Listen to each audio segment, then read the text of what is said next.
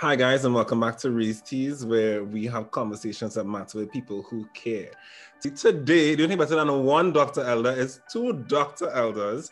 And today I'm joined by my cousin, Petal Elder, who is a physician currently working in the United States.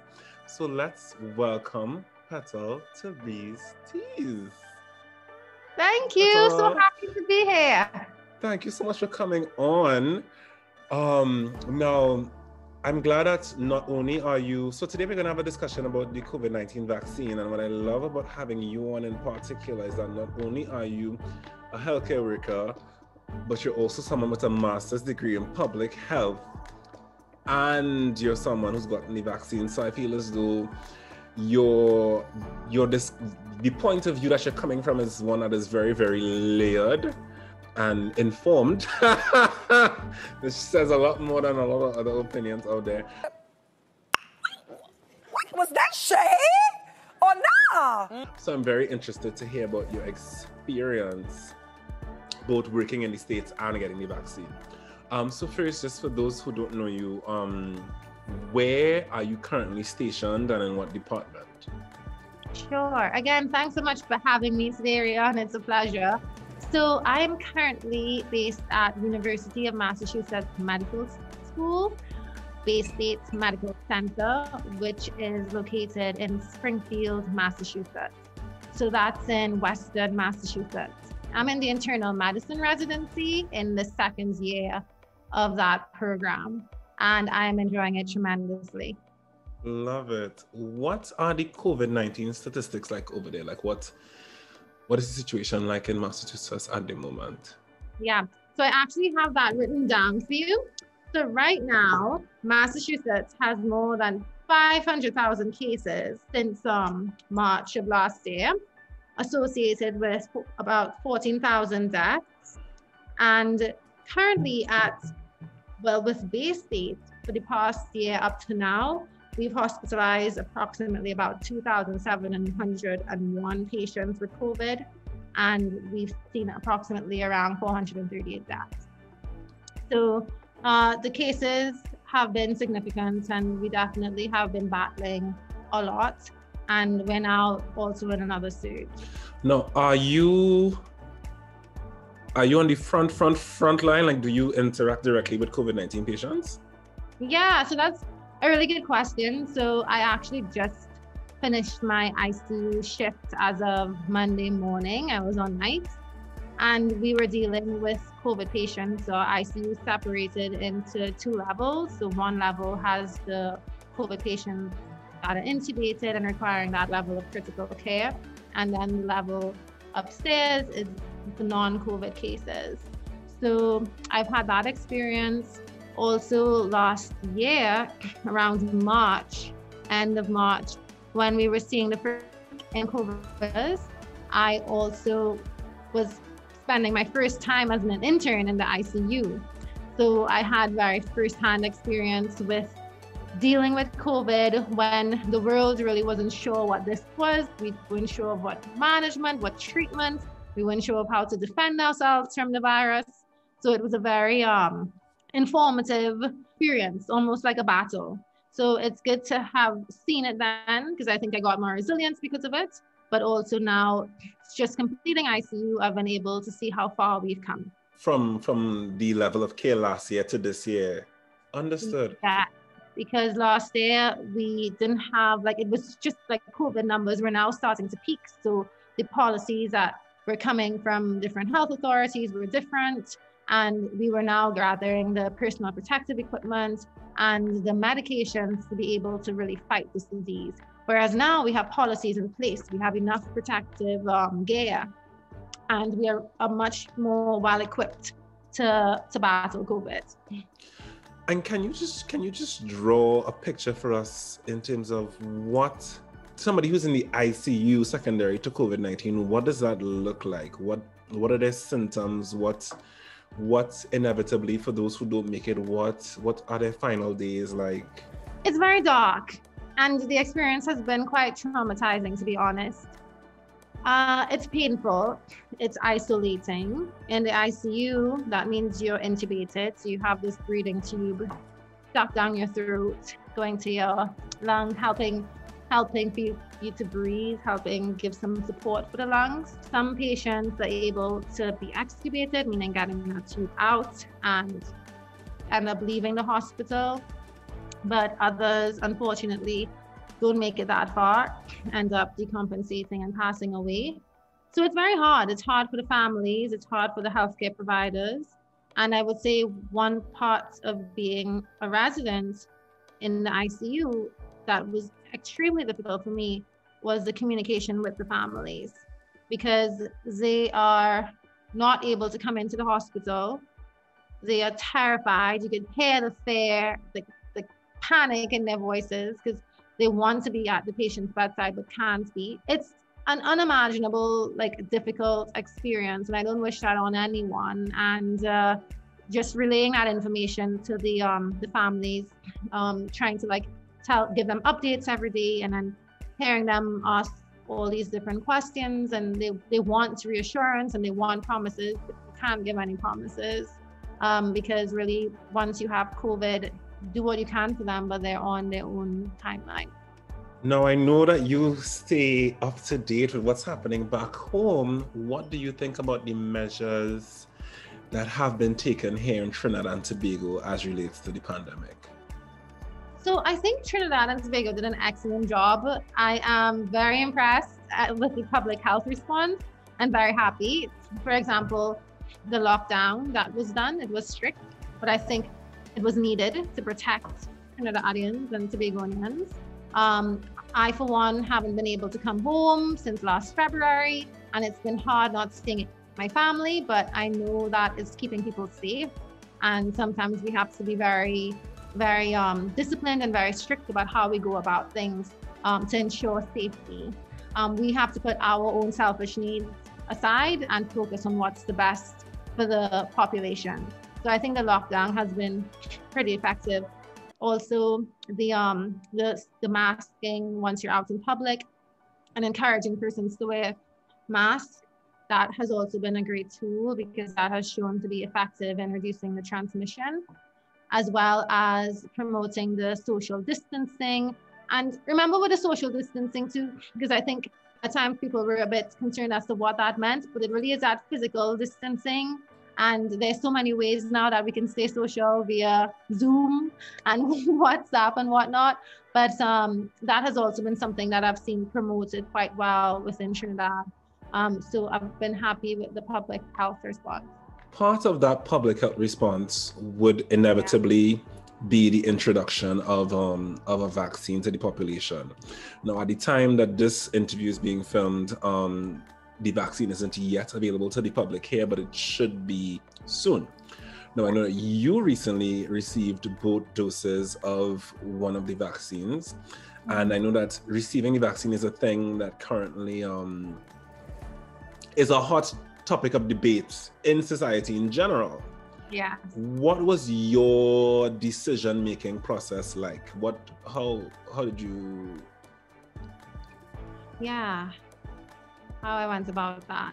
Yeah, that's, making. How did you go about making that decision? Yeah, that's a really really good question. So that decision was a difficult one um, because I'm quite aware one of the the mistrust that exists between those in certain minority communities like the African diaspora community and healthcare. Um, painfully aware of that. Um, also, there was concern about how fast the vaccine had been developed. So people raised issues with that, if we can trust this vaccine.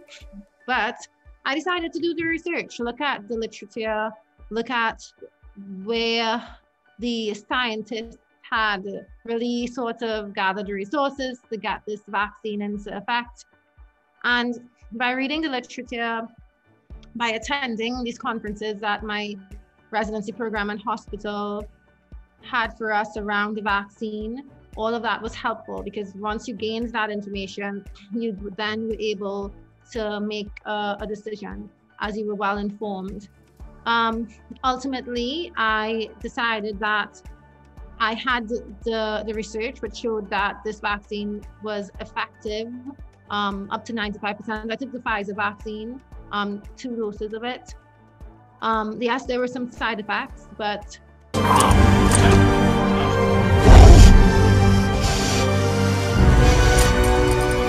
minimal, um, like a headache, um, some cold-like symptoms.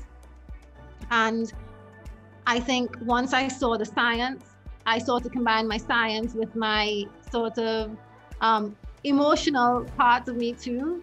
I use that to guide me. So I really took the vaccine as an effort to promote public health. So I took it out of respect for my patients because I need to protect them as much as I need to protect myself.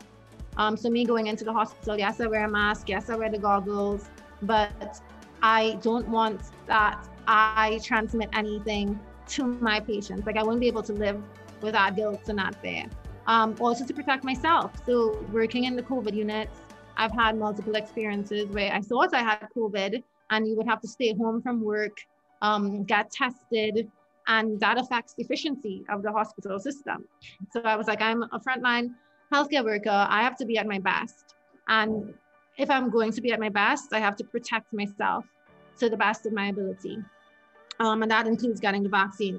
I also took the vaccine because I felt like it was out of respect for all those who died from COVID 19 and weren't able to get this vaccine, and patients and people all over the world, and all the healthcare providers who also um, can get this vaccine and died serving.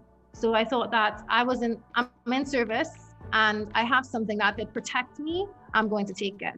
I did think at one point, um, why should I take something foreign when I'm already young and healthy? And if I do get COVID, it's most likely for me being a young, healthy person that I may not suffer tremendous, like significantly from it. It will just pass. But then I realized that even though I may have a mild COVID case, I can still transmit that to someone who's in a vulnerable situation, meaning an elderly person, a person with comorbidities. And I need to do my part as a doctor and as a public health um, professional. So I got the shot. I took the shot. The shot.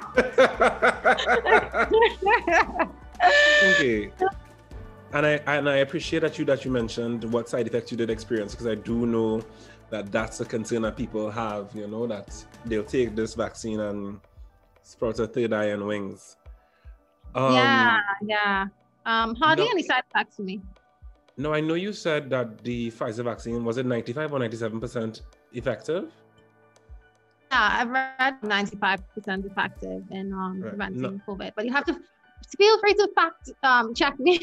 yes, yes, yes, yes. I'll put it at the bottom. I'll send put the, the actual statistic at the bottom yeah. of the screen. Petal and I then watched and discussed a recent controversial interview Dr. Anthony Fauci had with CNN's Chris Cuomo. Oh yeah, yeah, yeah. Section for you here. All right, just some questions that keep coming up. Okay. Um, why do I have to keep wearing the mask after I get the vaccine? I thought it was going to protect me from the vaccine. Uh, what's the answer? Well, the answer is unless you get the overwhelming majority of the country vaccinated and protected and get that umbrella of what we call herd immunity, there's still a lot of virus out there. There's still a lot of virus out there. So just because you're protected, so called protected by the vaccine, you need to remember that you could be prevented from getting clinical disease and still have the virus that is in your nasopharynx because you could get infected. We're not sure at this point that the vaccine protects you against getting infected. We're not sure at this point that the vaccine protects you against getting infected. Like we know for sure it's very, very good 94, 95% in protecting you against clinically recognizable disease. Clinically recognizable disease, but not COVID? And almost 100% in protecting you for severe disease. And almost 100% from severe disease? Well, then what does he call COVID? if that's not serious. But until you have virus that is so low in society, we as a nation need to continue to wear the mask, to keep the physical distance, to avoid crowds. We're not through with this just because we're starting a vaccine program. We're not through with this just because we're starting a vaccine program. Even though you, as an individual, might have gotten vaccinated, it is not over by any means. We still have a long way to go, and we've got to get as many people as possible vaccinated of all groups. How, what does that take? When are we fully vaccinated? Well, the projection that I've made, and, and I hope it works this way, it's going to depend upon the. So, in an interview with CNN, Dr. Fauci is quoted as, as saying that the vaccine isn't going to prevent disease transmission, but rather lessen the symptoms if you get it. Did your research reflect this, and what is your opinion of the interview? Hi, yes, I 100% agree with Dr. Fauci. Dr. Fauci, oh, he's amazing, has been quite the leader. Um, so yes, basically we're vaccinated, but that's not the end of the story. We still need to continue protecting ourselves and protecting other people by wearing a mask um, when we go out. So the vaccine, it does lessen your chance of getting COVID-19. And it also, if you were to get COVID-19, it reduces the severity of the disease. Because remember, you can have a mild form of the disease, or well, you can have the disease, but ma- it manifests in a mild form um, to a severe form, like ending up in the ICU and passing away. So the hope is that by taking this vaccine, you reduce um, your chances of that severe um, form of the disease. Um, that being said, you can still be a carrier of COVID 19, you can still transmit it to other people. So that's why we have to continue with the, the physical distancing and the, um, the masking. So, Dr. Fauci, 100%. Understood. And thank you for breaking that down because I, I do feel as though um, sometimes people don't always comprehend what medical professionals put out. So that I think one of the big criticisms he was getting in the interview is why people still have to wear a mask if they're vaccinated. And I think people don't understand that even though you are vaccinated, you can still be a carrier of the disease. It can still um, um, colonize your nasopharynx, and it can and you can still even though you are vaccinated and you either may not contract it or may not get severely ill, could yeah. still take it to someone else. Yeah. Now, there's there's also growing concern surrounding the vaccine being an mRNA vaccine and mm-hmm. being the first of its kind used in a human population. Yeah. Do you share these concerns? Yeah, so that was something that was uh, raised by a lot of my colleagues that this is a new type of vaccine with the um, RNA, mRNA base that they used. And I was initially concerned, and that's what led me to research it. And with the research, it showed that it's still safe in terms of um, that um, time frame that they looked at the symptoms. Yes, we don't know the long-term effects because no one has gotten the vaccine, and we've seen how they are in 15, 20 years.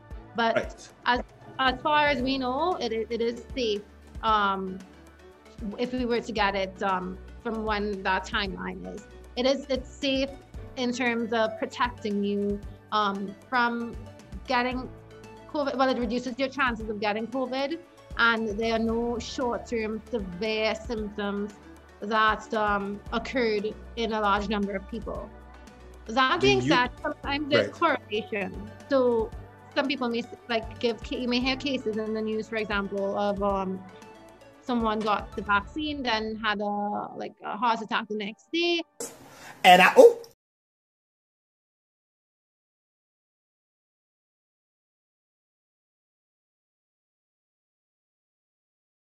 But remember that the, we're getting the vaccines.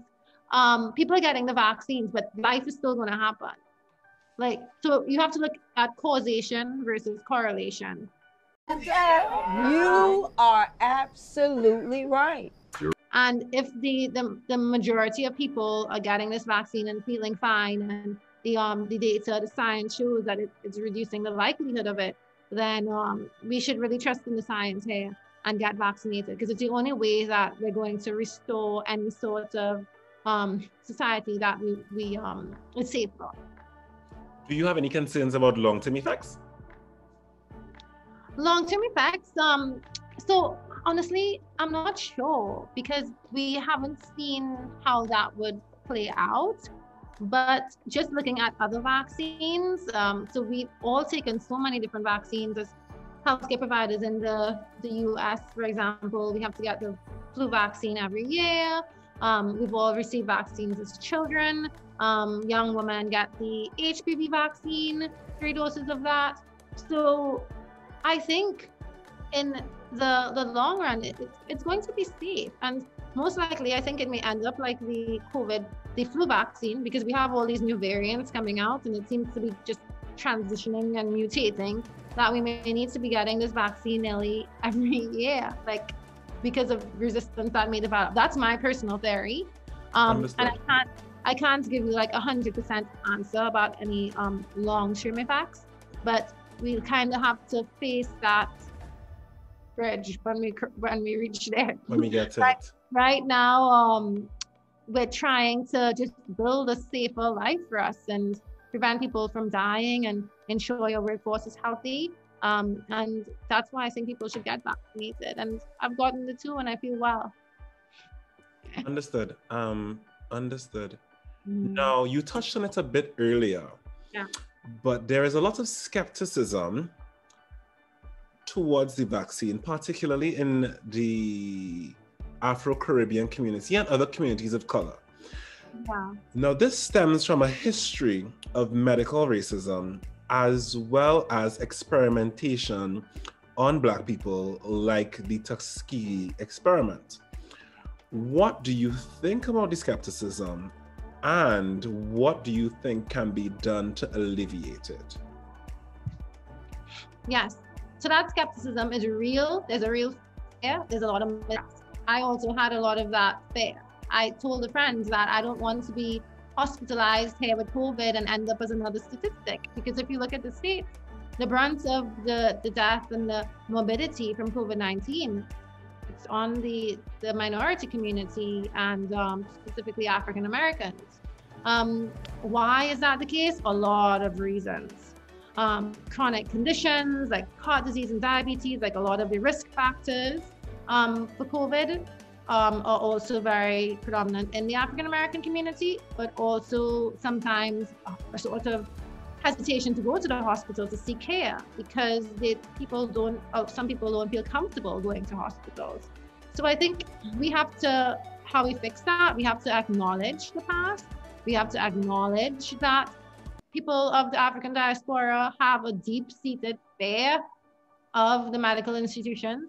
and we have to use role models use um like you know black physicians black nurses um you know like kind of reach out to them and see if they are, are willing to speak to their communities um, and really spread the message that we are here for you um, that we care for you we are in the medical field and and hopefully by our example um, they feel more comfortable and also delivering the message in such a way that you are able to reach the people who are hurt and um, are, are, very cautious of um, of medicine and tell them that this is a way of protecting themselves uh, and this, this is really a way of staying safe and and I think once we spread a message of like that we care and we we love everyone, um, people may be more willing to get it. And also the next thing is we have to continue doing more studies and involve um, with the study the population that is very diverse. So um, um, ensuring that we have um, representation from all different people of ethnic backgrounds. Agreed, and appreciated. And um, and I think um, and I think part of part of those studies because I, I know that there was a study done on medicalized racism recently in the states. Um, I think part part of not just doing the studies is also acting on the recommendations um, and and thus creating a medical environment where black and brown people, people of color, feel comfortable, feel like they will be cared for, and feel like the physician on the other end of the table, regardless of their color, um, has their best interests at heart and is and cares about them and cares about Yeah. them. Yes. I think I think that message of care is so important. And people just need to stop, like, you know, like there just needs to be less judgment on people in that community too. And because, you know, sometimes they may be like, oh, they don't want to take this vaccine. And just stop there. We have to figure out what what are the reasons for why they don't want to take the vaccine and address those reasons. Um, and I think you have to you have to go to the community and you have to ask them what what are their doubts and when you get a list of those doubts it's then up to us to figure out how to really address their um, their um, hesitation i think that's key so there's a Did- lot of talk now about vaccine hesitancy Um, Petal, is there anything else? So thank you so much for coming on, Petal. Is there anything else you'd like to share with the Reese's viewers before you go? Um, I would say, you know, I think, oh, one thing is that mental health during this time. Like, I am a wellness, you know, enthusiast, and I think COVID can take a real toll on your mental health. So just take care of yourself, be gentle with yourself, rest when you can, um, eat well, try to get some exercise indoors or in a socially distant setting, and just you know maintain hope that things will improve one day. And my love goes out to everybody. Lots of peace and well-being. Thank you. Thanks Thank so you so for having much. Thank you, Petal, and I hope to have you back on again. Certainly. Shout out anytime, cuz I'm very proud of all that you here. Thank you. Right, guys, Represent. well, that's it for today's episode. Can't wait to catch you guys in the next one. Don't forget to hit like, subscribe, and the bell notification. And until next time, bye.